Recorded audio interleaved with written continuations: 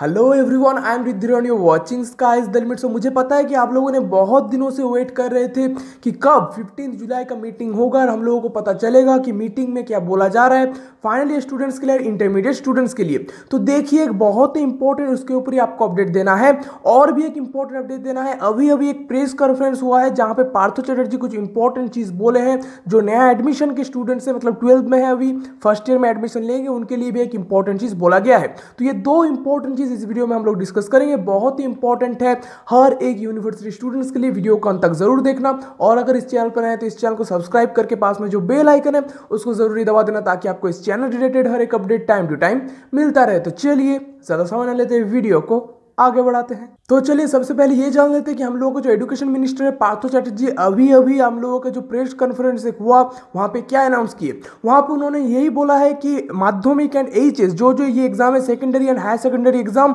उसका रिज़ल्ट निकल जाने के बाद, आपको मार्कशीट मिल जाने के बाद, जो जो आपका एडमिशन प्रोसेस होगा कॉलेज में या फिर यूनिवर्सिटी में एंट्रेंस के लिए, हर एक चीज़ आपका ऑनलाइन में होगा, कोई भी चीज़ आपका ऑफलाइन में नहीं होगा, ये क्लियरली अभी बोल दिया गया है। और कहीं भी आपका स्टूडेंट्स को फिजिकली प्रेजेंट रहने का कोई भी ज़रूरत नहीं है।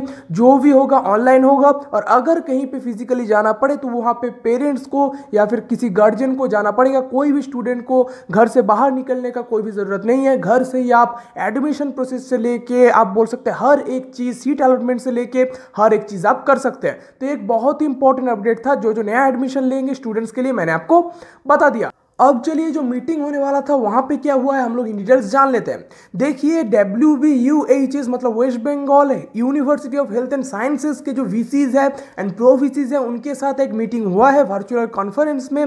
पर जो नॉर्मल यूनिवर्सिटी के स्टूडेंट्स मतलब बोल सकते हैं जो इंजीनियरिंग के यूनिवर्सिटीज़ है, या फिर आप बोल सकते हैं नॉर्मल ऑनर्स है B com B S C M com M S C ये सब के जो यूनिवर्सिटीज़ हैं मतलब कैलकट यूनिवर्सिटी पकड़ लीजिए मैकआउट पकड़ लीजिए, उसके बाद N B U K N U Burdwan university Jadavpur university ये सब के जो वी है, वो मीटिंग में अटेंड नहीं थे आज। ये क्लियरली बोला गया है ट्वीट करके हम लोगों का जो गवर्नर है जयदीप धनखड़ सर कुछ टाइम पहले एक ट्वीट किए हैं, जहाँ पे ये बोले हैं अनफॉर्चुनेटली बाकी जो वी है, वो अटेंड नहीं किए हैं, ये वर्चुअल कॉन्फ्रेंस जहाँ पे वो लोग ये रीजन दिखा रहे हैं, आप देख सकते हैं यहाँ पे नॉर्थ बंगाल वीसी क्या बोल रहे हैं? नॉर्थ बंगाल यूनिवर्सिटी के वीसी ये बोल रहे हैं कि west Bengal higher education authority से जब तक हम लोगों को नहीं बोला जाता, जब तक वहाँ से हम लोगों को इन्वाइट नहीं किया जाता कि किसी मीटिंग में अटेंड कीजिए, तब तक कोई भी वीसी कोई भी मीटिंग में अटेंड नहीं कर सकते। और यहाँ पे थोड़ा दिन आप बोल सकते कुछ दिनों से चल रहा था, कुछ प्रॉब्लम गवर्नर एंड हम लोगों को जो अभी वेस्ट बंगाल का गवर्नमेंट है, उनके बीच कुछ प्रॉब्लम चल रहा था इसके बेसिस पे अभी मीटिंग जो है आप लोगों का नहीं हो पाया है, जो कि आप वेट कर रहे थे। पर जो मेडिकल स्टूडेंट्स हैं, उनके लिए एक मीटिंग हुआ है। West Bengal university of health and sciences का एक मीटिंग हुआ है। उनका हो सकता है बहुत ही जल्दी, आप देख सकते हैं, यहाँ पे बोला गया है सिक्सटीन आप बोल सकते हैं सात मतलब कल आप लोगों का साढ़े बजे एक मीटिंग होगा, जहाँ पे बोला जाएगा कि मीटिंग में क्या डिसीज़न लिया गया है।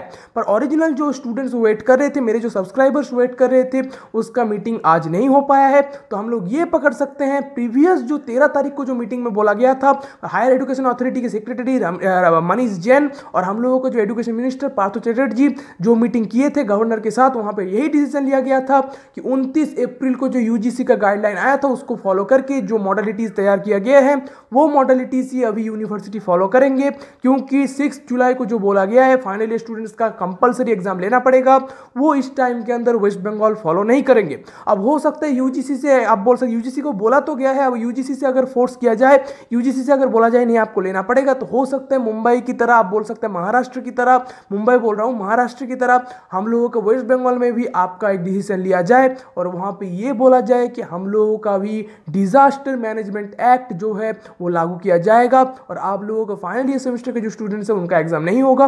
तो अभी तक अगर आप मुझे पूछे तो मुझे लगता है कि आप लोगों का एग्ज़ाम होने का चांस इस टाइम के अंदर बहुत ही कम है। जो आपके यूनिवर्सिटी जो बोल रहे वही फॉलो कीजिए, अदर कुछ भी चीज़ आप बोल सकते इस टाइम के अंदर फॉलो मत कीजिए। यूनिवर्सिटी से जैसा आपको बोला जा रहा है फॉर्म फिलअप हो एग्ज़ाम हो, वैसा ही चीज़ आप कीजिए, आपके लिए अच्छा होगा।